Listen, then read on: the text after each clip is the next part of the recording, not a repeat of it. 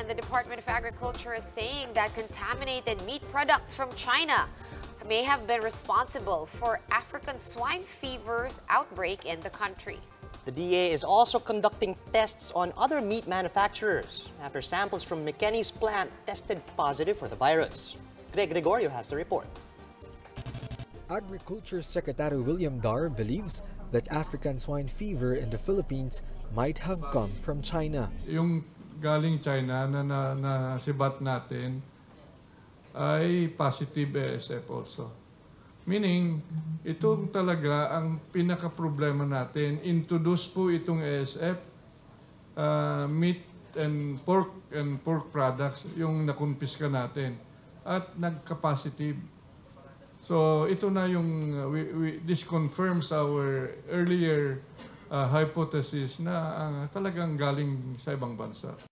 Dar explained that ASF positive pork could have been dumped in Rodriguez Rizal, which was used by hog racers for swill feeding. This comes as the DA identified Mekeni Food Corporation as a brand with processed products affected by African swine fever. Recall that just two weeks ago, Mekeni's goods together with homemade products were confiscated in Oriental Mindoro and tested positive for the virus. Although the products were placed in one container which opened the possibility of cross-contamination. But after two validation tests, plant samples of Mekeni's skinless longanisa and hot dog resulted positive for ASF. With these developments, the DA and the Dep Department of Health through the Food and Drug Administration, have agreed to disclose jointly said test results and name the manufacturer, which is Mekeni Food Corporation. This is to end consumers' speculations that may have untoward effect on all other processed pork products. The DA is still probing the meat source, but Mekeni was given until this week to explain their side. If found guilty, the FDA could revoke the firm's license to operate while the DA could file charges. There is a meat inspection code at ito yung sinabi na ni Rooney na it's a crime to sell, trade, and or slaughter sick or dead pigs for meat or for processed pork products. Violators will face imprisonment from 6 to 12 years or fine of 100,000 pesos to 1 million or both. In a statement, Mekeni agreed to cooperate with the investigation. The company has already sent samples for independent laboratory testings, while its pork products have been recalled from the market. Its pork-based processing area has also been suspended and its facilities has undergone disinfection. Meanwhile, the DOH reminded the public that ASF-positive pork products are still safe to eat. Kung naman in the past nakakain sila, nakaluto sila nito, then they shouldn't be afraid naman ano kasi wala naman ano hazard sa kanila. Yung ang ginagawa ng FDA pag ganitong medical and meron silang nabili, then they can return it to the dealer.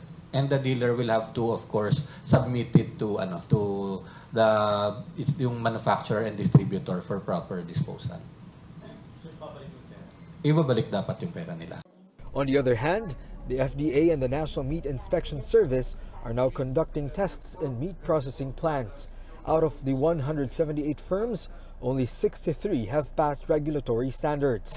The Agriculture Department is also finalizing a national zoning plan in an effort to stop the spread of the virus. Visayas, Mindanao, Mimaropa, and Masbate will be declared free zones, with pigs allowed for transport to other parts of the country.